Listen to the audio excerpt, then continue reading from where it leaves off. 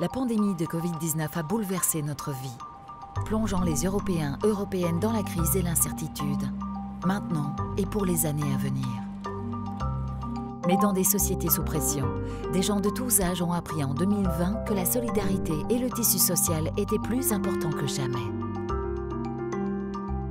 Les gouvernements européens ont eux aussi adapté leurs réponses.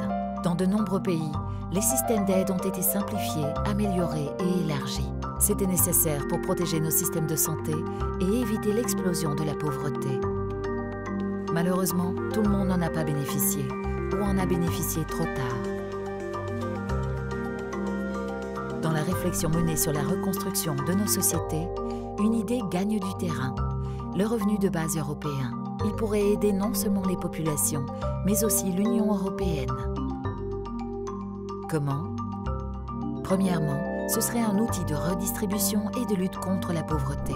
L'ensemble de la population pourrait bénéficier de la richesse découlant de l'intégration européenne sans obstacle administratif, sans restriction de la couverture, sans le risque de stigmatisation liée aux aides sociales.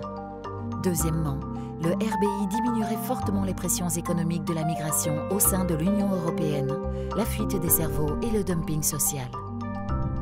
Cela pourrait être un outil fantastique pour lutter contre la dépopulation de nombreuses régions. Troisièmement, cela pourrait être un mécanisme de solidarité entre États membres, capable de rétablir l'équilibre économique et social et de stabiliser notre devise et notre région entière. Enfin, cet avantage commun et tangible pourrait renforcer le soutien au projet européen, renforcer le sens des valeurs communes et de la communauté et montrer clairement ce que l'Union européenne peut faire pour vous.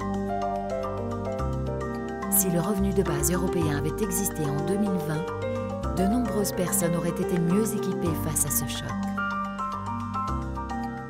Un nombre croissant d'experts et d'organisations sont convaincus que c'est une idée à creuser. Ils participent au débat sur le revenu de base inconditionnel dans toute l'Europe. Participez à cette conversation avec la Green European Foundation.